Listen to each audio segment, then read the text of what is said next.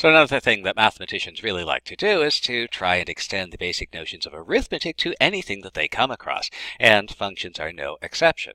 And so we might make the following definitions. If I have two functions, f of x and g of x, then I can try to define the function sum or difference, f plus g of x. Well, that'll be defined in the obvious way. I'm going to take the function values and add them together. The difference, f minus g of x, well, that's going to be the difference of the two functions. Uh, the product of two functions, I'm going to write that f g of x, and what that really means is that's f of x times g of x. The quotient of two functions, f over g of x, no surprise, that's f of x over g of x. And function composition, this one might be a little bit surprising.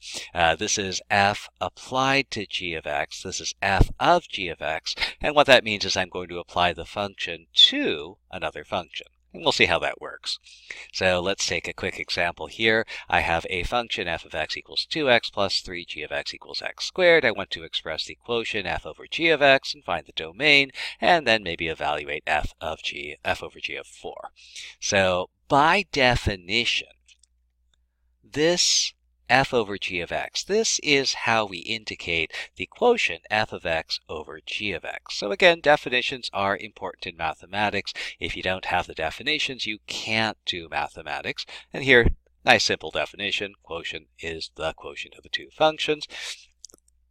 Well, equals says whenever I see the one, I can replace it with the other. So equals, well, f of x, I can replace it with 2x plus 3. g of x, g of x is the same thing as x squared, so wherever I see g of x, I can replace it with x squared, and so my quotient function, f of x over g of x, is going to be 2x plus 3 over x squared, and it's a quotient, so I need to worry about the domain. I worry that the denominator may be equal to 0. Well, that's pretty easy to figure out. As long as I make x not 0, then the denominator won't be 0, and I'll be fine with that domain. What about the value of f over g of 4? Well, again, by definition, this is the value of f at 4, the value of g at 4, and I know what f is, I know what g is, and so I can substitute in those values. So f of 4, drop that into here, 2 times 4 plus 3, g of 4, drop 4 into here, that's 4 squared, and that's going to be 11 over 16.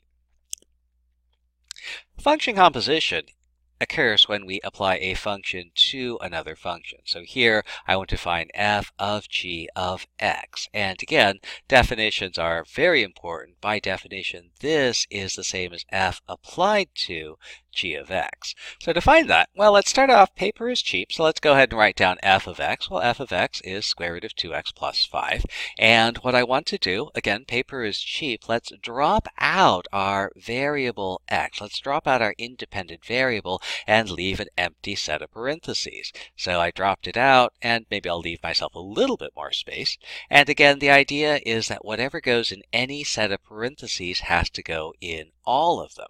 So originally I had an x in here, I had an x in there. Well, what I actually want to put in there is I want to put in g of x. So I'm going to drop a g of x into this empty set of parentheses, and whatever goes in the one has to go in the other. So I'll drop that g of x in there and I have this new expression. Now, again, paper is cheap. It does you no good to save on paper if you make the problem more complicated. So let's see. Well, I do want to find a simplification for this. And again, g of x equals x plus 3. Wherever I see g of x, I can replace it with x plus 3. Well, I actually want f of g of x. I don't want to replace the g of x over here because this is what I'm looking for. But on the right-hand side, if I replace this g of x with x plus 3, I'll have a simpler expression. So I'll make that replacement. Paper is cheap. Don't try to do this by, uh, by trying to cram everything into one line, we'll go ahead and write down a new line. So here's 2. Instead of g of x, I'm going to write x plus 3, still in parentheses. Parentheses, like paper, are very cheap. And here's my expression, f of g of x equals square root 2 times x plus 3 plus 5. I can do a little bit of algebraic simplification after that. I'll expand out the 2 times x plus 3 and add 6 plus 5 to get me 11. And here's my f of g of x equals square root 2x plus 11.